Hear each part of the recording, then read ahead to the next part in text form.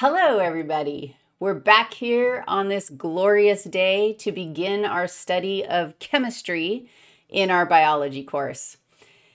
Perhaps you will be happy to know that there are only two lectures that we're going to devote to our study of chemistry. Um, I say you may be happy that might also make you sad. You might feel like, oh my God, dude, we need like 10 lectures to understand this chemistry stuff that you are presenting to us today, Riggs. And I would agree with that. Chemistry is a very, very complex and mathematical and conceptual science, and it's a whole class. Many of you will follow up this biology course with a course in chemistry before you take something like human physiology or microbiology. The chemistry is fundamental. And because I am a physiology teacher, I know the chemistry that counts. I know the stuff that is going to be most worth your time and energy to understand the things moving forward. If you've looked at any of the stuff I've done in the past, I effectively doubled the amount of chemistry that we're going to talk about in this class for this redo of the video lectures. And I did that on purpose. I feel like chemistry is so fundamental and these concepts that we're going to talk about today are pretty um they're foundational and you will see them again and again and again. So if any of it is unfamiliar to you, know that it's worth your time to commit it to memory and it will inf- like it will help you understand the stuff that's coming up for us. So today we're just like in the last lecture, I'm going to start us off with a few um, definitions. Unlike the last lecture, I'm going to start us off with some definitions that hopefully are not um, at all controversial, although they are kind of weird. They kind of all um, they're they rely on each other to define each other. You'll see what I mean in just a second. The first definition that I want to um, have in our brains very clear before we get moving any further is matter. What is matter? And again, it's just helpful to have a good, clean definition. Matter is anything with mass that takes up space. So anything with mass and volume.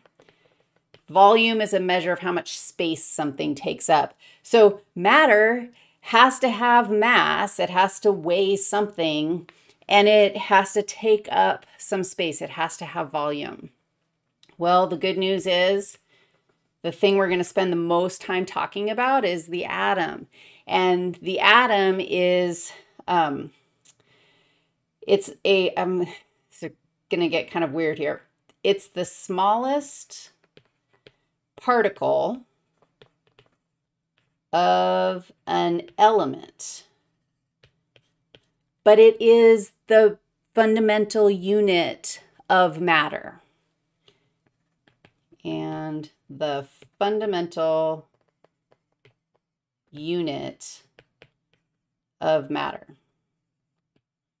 So all matter is made of atoms, and atoms are the smallest particles of elements, which guess what our next definition is? An element is a type of atom. I am sorry, but I think of things in flavors. And I think of elements as different flavors of atoms. When we look at the structure of an atom, we will see that all atoms share certain characteristics. They're built from the same subatomic particles. But depending on how we mix and match the subatomic particles, we get different elements. The elements show up. I'm just going to come back and show you this again. The elements show up in and are organized in the periodic table of elements, and we will look at that in more detail as we as we move along. Wait a minute, now I got to make that make that go away so we can get back to our definitions. Because we have one more definition that I just want to define right off the top. Molecule. Oh, good gracious. You can read that, can't you? Molecule. A molecule is two or more connected atoms. Now, if you have taken chemistry or taught chemistry, you might have something to say about my definition of a molecule.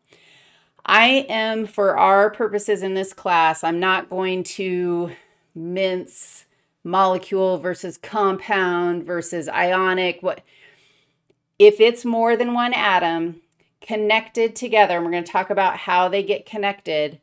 I like connections. If it's more than one atom connected to each other, then that we're going to call that a molecule. All right, those are that's it. Those are our definitions. Now let's look at um, the atom itself.